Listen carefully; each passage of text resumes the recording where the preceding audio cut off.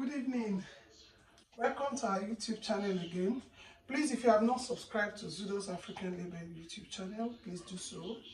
Uh, I do a lot of advocacy trainings, I create awareness, I do researches on areas where you can get scholarships, where you can get work permits, where you can apply, and I give you some links and all of that.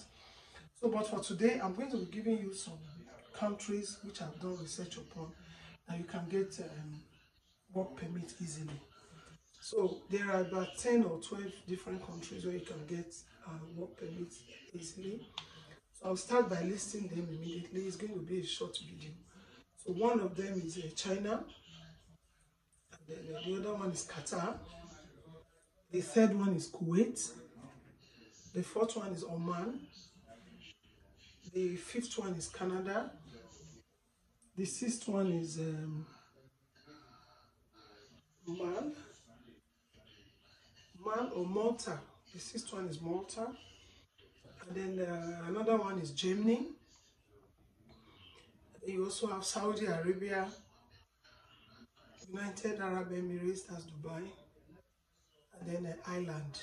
These are the top 10 countries that you can get a work visa easily. But in as much as I'm saying it here, you still need to go in to the website of the countries and look at it step by step on how you can apply for the work permit and try to meet up with the criteria and then what you need to have, uh, what how you need to apply. Are you supposed to deal with your prospective employer directly? Are you expected to pass through the country's websites? What is the criteria for the visa? What is the number of years? What limits can they give to you? All those things you have to do those research on your own. My own is to bring out the names of the countries that you may get work permit easily. And I've listed about 10 countries for you. So you can go in now to their websites and check. Again, there are other countries where you can also get scholarship to enter the country. Scholarship for schooling, vocational trainings and all of that. And then when you get there, maybe before, because you have school day, there may also be a criteria for you to do some co-op and from there you get the work permit or how it works. Our own is to bring out the names of the countries for you. You still have work to do. To work on your credentials, work on your skills, find out what is obtainable. So there are countries that you don't need to pay nothing to go to school. But if you don't apply to such schools, you won't know, you know. So at countries like uh, yeah, place like Scotland, there are schools in Scotland where you can have full scholarship, no cost at all. You won't be paying nothing. And then uh, there is what they call STEM, S-T-E-M, STEM scholarships. That one is strictly for women.